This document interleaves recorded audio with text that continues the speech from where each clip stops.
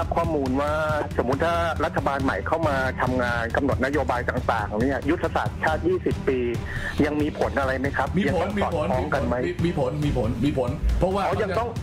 ไม่ก็ต้องไปอ่านในรัฐธรรมนูญเดี๋ยวฟังต้องไปอ่านในรัฐธรรมนูญดูว่าเขามีข้อกำหนดอะไรยังไง แสดงว่าถ้าเกิดเขาร่างรัฐธรรมนูญใหม่ไอ้ตัวเนี้ยมันถึงจะยกเลิกไปได้ ถ้าถ้าเขาจะแก้ แต่ถ้าไม่แก้ก็คือต้องดูตัวนี้ให้สอดคล้องกันด้วยถูกไหมเขาครับไม่ได้เขียนอะไรแบบชนิดที่เรียกว่ากระดุกกระดิกไม่ได้หรอกคุณ คุณเคยอ่านไหมนี่ก่อนไปอ่านก่อนอ่าอ่าอ่าได้ครับได้คถ้ารับไม่ไปถ้าไม่ไปอ่านก็ท่าไปหมดละพี่ไปอ่านก่อน ก็ไอความที่ไม่อ่านนั่นคิดเอาเองนี่ไง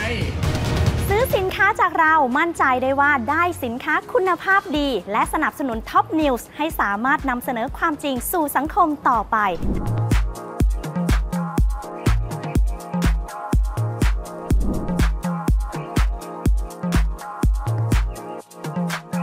ถ้าสนใจติดต่อมาเลยนะคะ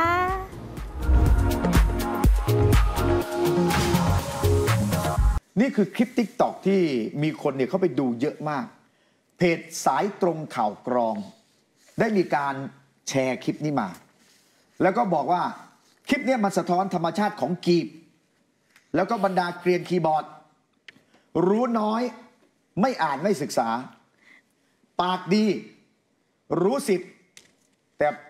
ทะเลทะเลถลายไปอีกร้อยเอออวดฉลาดรู้ผิดผิดก็อวดรู้เออคือคลิปอะไรนะฮะเป็นคลิปรายการวิทยุของเออ ท่านอาจารย์อาจารย์วีระวีระค่ะแล้วก็จะเปิดสายคนโทรเข้าไปไงแล้วคนเปิดสายบางทีเนี่ยก็จะไปไปเกตั้งลียนตั้งป้อมมาเลยอะเออจะมาด่าจะมาบิดเบือนไปเกลียนใส่อาจารอ่าย์เรื่องก็เศรษฐกิจมีนะเรื่องโอนหนี่สาธารณะนะปรากฏว่าเจออาจารย์วีระแล้วทำให้ไอ้คนที่ตั้งใจจะเข้าไปเกรียนนี่นะค่ะออกอาการเลยอ้าวเดี๋ยวลองดูคลิปคลิปนี้นะฮะ สวัสดีครับอาจารย์สวัสดีครับ คุณนัทพงศ์เออว่าพอดีผมอยากทราบข้อมูลว่า สมมุติถ้ารัฐบาลใหม่เข้ามาทำงานกำหนดนโยบายต่างๆเนี่ยยุทธศาสตร์ชาติ 20 ปี ยังมีผลอะไรไหมครับ มียังผลต้องมีสอดผลคล้องมีผกันลไหมมีมีผลมีผลมีผล เพราะว่าเขายังต้องไม่ก็ต้องไปอ่านในรัฐธรรมนูญเดี๋ยวฟังอ่าฮะอ่าฮะต้องไปอ่านในรัฐธรรมนูญดูว่าเขามีข้อกำหนดอะไรยังไงอ๋อแปลว่ายุทธศาสตร์ชาติ 20 ปีนี่มันอยู่ในกฎหมายรัฐธรรมนูญด้วยเหรอครับ มันอยู่ในรัฐธรรมนูญใช่ อ๋อ แสดงว่าถ้าเกิดเขาร่างรัฐธรรมนูญใหม่ไอ้ตัวเนี้ยมันถึงจะยกเลิกไปได้ ถ้าถ้าเขาจะแก้ แต่ถ้าไม่แก้ก็คือต้องดูตัวนี้ให้สอดคล้องกันด้วยถูกไหมคือคเขารับไม่ได้เขียนอะไรแบบชนิดที่เรียกว่ากระดุกกระดิกไม่ได้หรอกคุณ คุณเคยอ่านไหมนี่ก่อนคือคือเคยรู้แต่ไม่ได้อ่านที่มาถามอาจารย์ไงครับว่ามันยังมีผลอยู่หรือเปล่ามันมีผลอยู่แล้ว แต่ถ้าไปอ่านดูอะมันไม่ใช่อะไรที่มันเป็นข้ออุปสรรคเลยอืมเออไปอ่านดูเนี่ย หนาอยู่เหมือนกันนะอ๋อไม่แปดแปดที่สิบถามกว่าหน้าแปดสิบกว่าถามหอาจารน้าย์แบบนี้ถ้าเกิดเขาว่าเกิดนโยบายที่เขาหาเสียงไว้เนี่ย แล้วเขาจะทำเนี่ยมันขัดกับเอ่อยุทธศาสตร์ชาติที่20ปีอย่างเงี้ยคุณต้องจะไปทำยังคุณต้องไงไปอ่านก็คือสิเขาก็ทำเดี๋ยวตามนโยบายที่พูดเอาไว้ไม่ได้เดี๋ยวที่เพราะจะทำก็เดี๋ยวไปอ่านก่อนอ่าอ่าอ่าได้ครับได้คถ้ารับไม่ไปถ้าไม่ไปอ่านก็ท่าไปหมดละพี่ไปอ่านก่อนมันเยอะอะอ้าวมันเยอะก็ไปอ่านพี่ก็อยากรู้ต้องไปอ่านดิพี่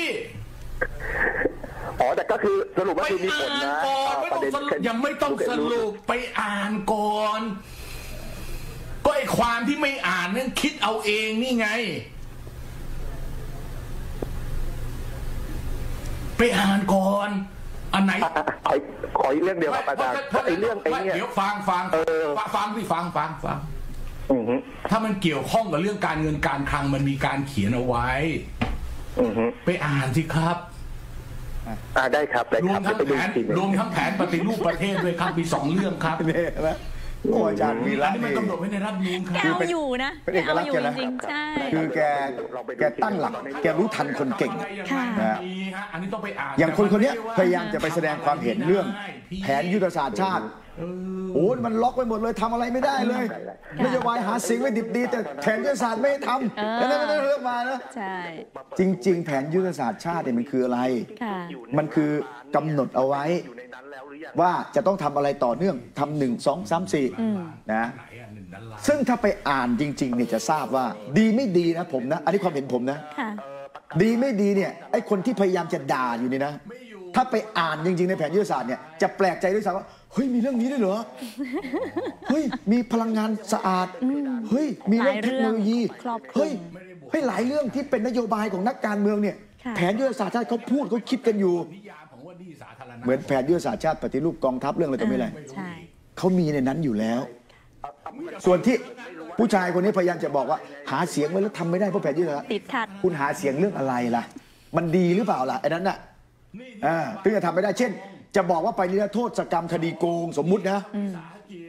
อย่าว่าแต่ผัดผิดแผนยุทธศาสตร์ชาติเลย ผิดแล้วถ้าธรรมนูญจะผิดหรือเปล่าก็ไม่รู้ค่ะอย่างนี้เป็นต้นไงอาจารย์วีระก็เลยไปอ่านซะก่อน